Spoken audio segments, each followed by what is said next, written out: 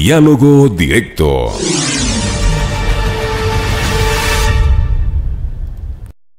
Ya son las 12 horas con 33 minutos, 12 con 33 minutos en Punto Noticias, segunda emisión. Saludamos a esta hora vía telefónica a Osvaldo Román Calero, él es alcalde de Célica, integrante del Comité Ejecutivo de la Asociación de Municipalidades del Ecuador. La Asociación de Municipalidades del Ecuador decidió realizar una movilización prevista para el próximo 9 de marzo de 2021, es decir, el próximo martes.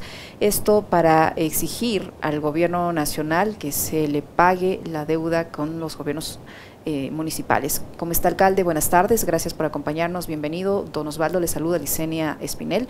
Eh, entiendo que como eh, paso previo a la realización de esta movilización, el presidente de la AME había dicho que van a hacer las gestiones para que una delegación de la Asociación de Municipalidades del Ecuador sea recibida por el Ejecutivo, por el presidente o por alguien del gobierno, para tratar de evitar que se llegue a este extremo y lograr algún acuerdo que permita que ustedes tengan los recursos que tanto necesitan y que se les adeuda.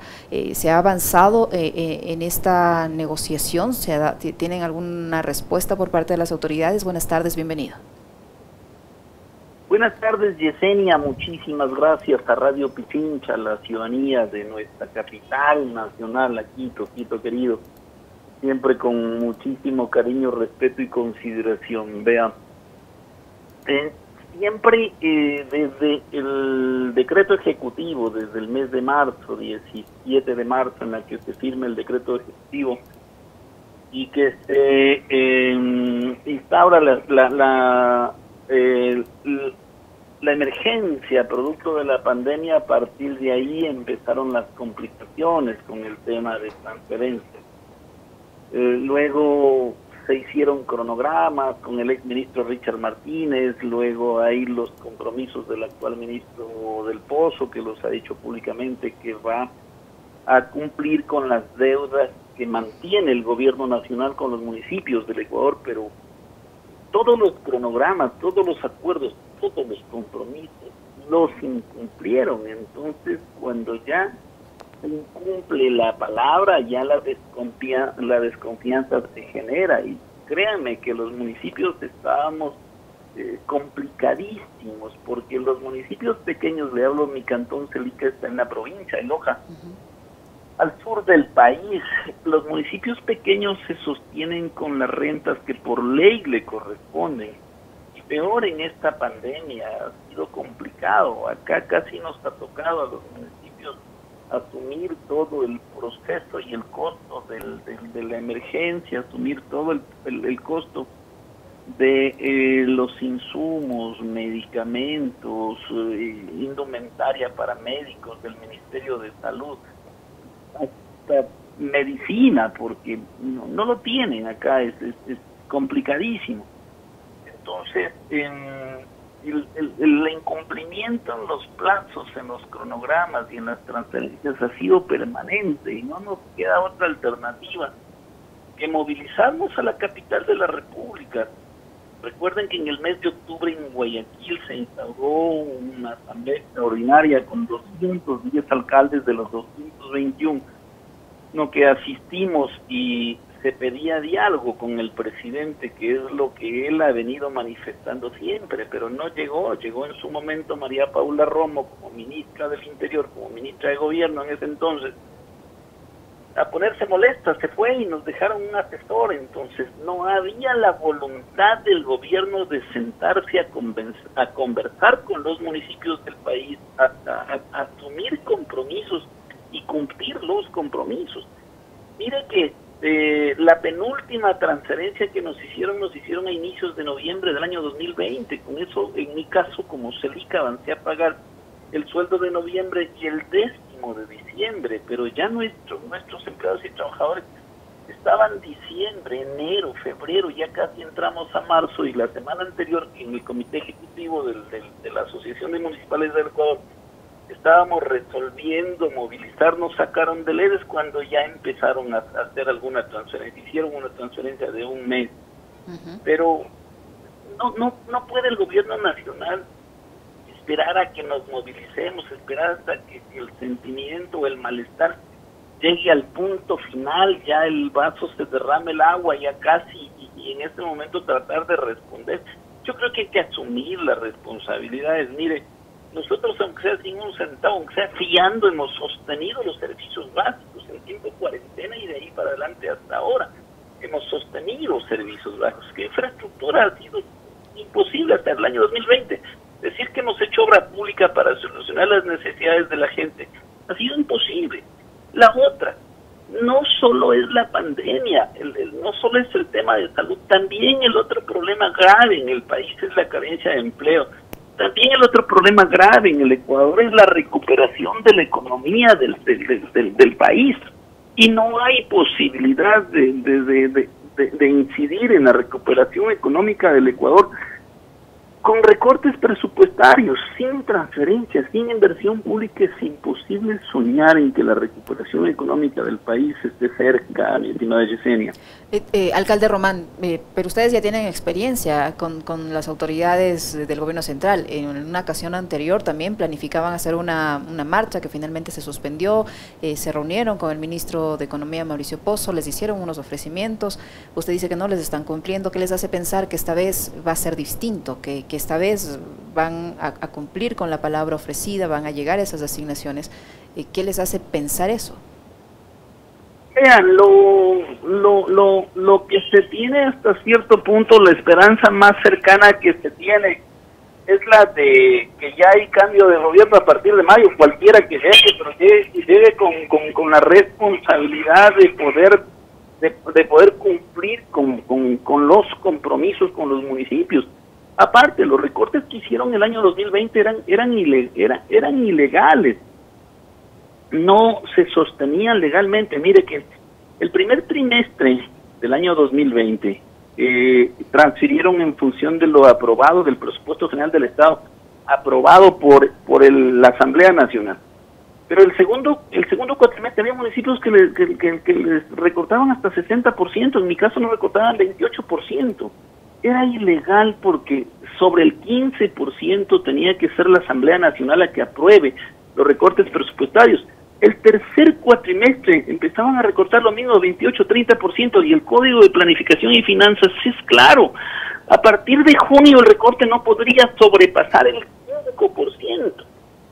Y al final del camino, cuando Richard Martínez ya deja el Ministerio de Finanzas, deja firmando los acuerdos ministeriales, que al final se logró al menos el, actual ministro Pozo derogue el acuerdo ministerial que recortaba los presupuestos ilegalmente y al menos se sostenga ahí como deuda.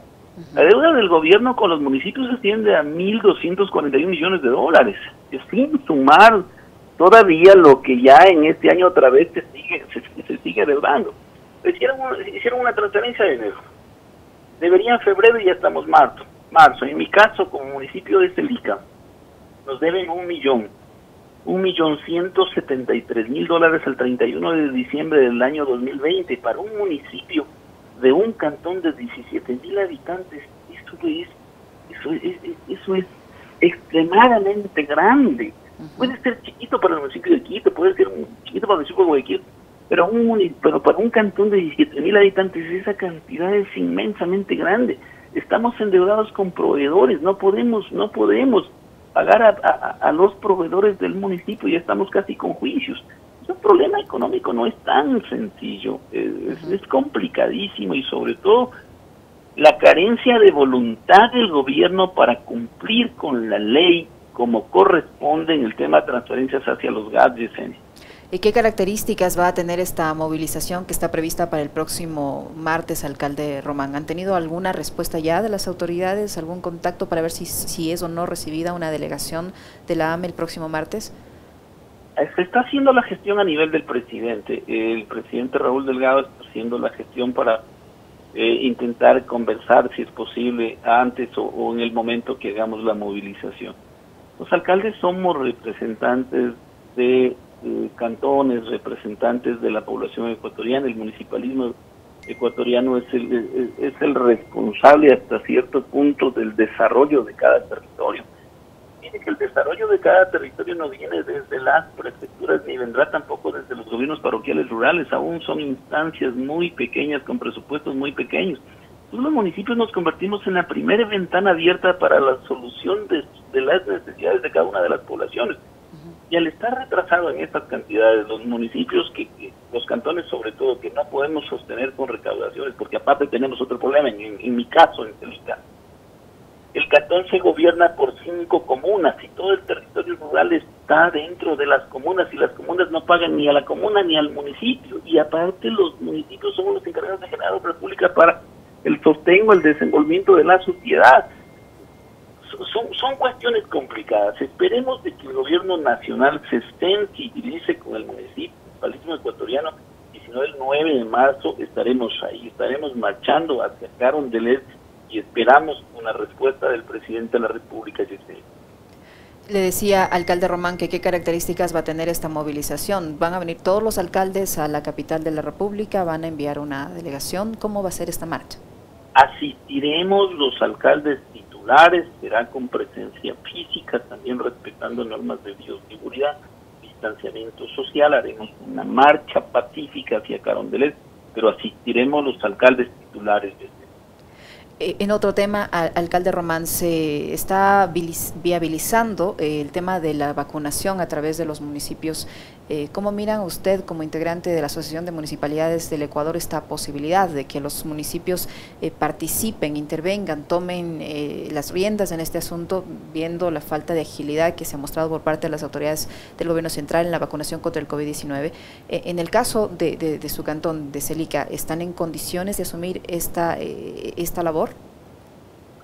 Vea, los municipios que podrán hacerlo son los municipios considerados grandes, no los municipios que representan a poblaciones grandes donde puedan sostenerse con recaudaciones o con el cobro de servicios o tarifas. Los municipios pequeños es imposible, si en este momento no podemos pagar salarios, ¿cómo, cómo, cómo demonios nos vamos a comprometer en poder comprar vacunas? Y además, así pudiésemos comprar el sistema de almacenamiento y distribución sería imposible garantizarlo. Es necesario que el gobierno nacional a través del Ministerio de Salud Pública tenga una planificación y un compromiso con el país, pero tiene que ser serio. No pueden decir cuando se lo pedía el presidente en Carondelet, nos reunimos en el mes de noviembre, mal no recuerdo, con el Comité Ejecutivo de la Nacional, con el señor presidente, y yo les decía, vea presidente, permítanos que usted y el presidente de los municipios del Ecuador lideren el proceso ya desde ahora de adquisición de las vacunas de los laboratorios que la están produciendo, pero que sean los dos. Y los municipios podemos colaborar en la medida de las posibilidades, pero el almacenaje, decir que los municipios podemos tener garantizado un sistema de almacenaje con temperaturas de menos 80 grados centígrados, menos 20 grados centígrados, es imposible. La cadena de distribución tampoco. Debe de ser el órgano rector el Ministerio de Salud. Pero el ministro que renunció no daba pie con bola, no tenía idea, ni quería tampoco juntarse con los municipios, no quería dejarse ayudar. En este tema no es quien lo haga, lo importante es que lo haga. Se trata de la salud y la vida de los ecuatorianos, Yesenia, y con eso no se juega. Así es, alcalde. Muchísimas gracias por su tiempo, por la información que nos ha proporcionado. Don Osvaldo Román Calero, alcalde de Celica e integrante del Comité Ejecutivo de la Asociación de Municipalidades del Ecuador, que nos ha acompañado vía telefónica. Gracias, alcalde. Yesenia, un abrazo enorme. Un saludo a la ciudad de Quito. Un abrazo. Muy amable, muchas gracias. 12 con 47 minutos en Punto Noticias. Continuamos enseguida con más.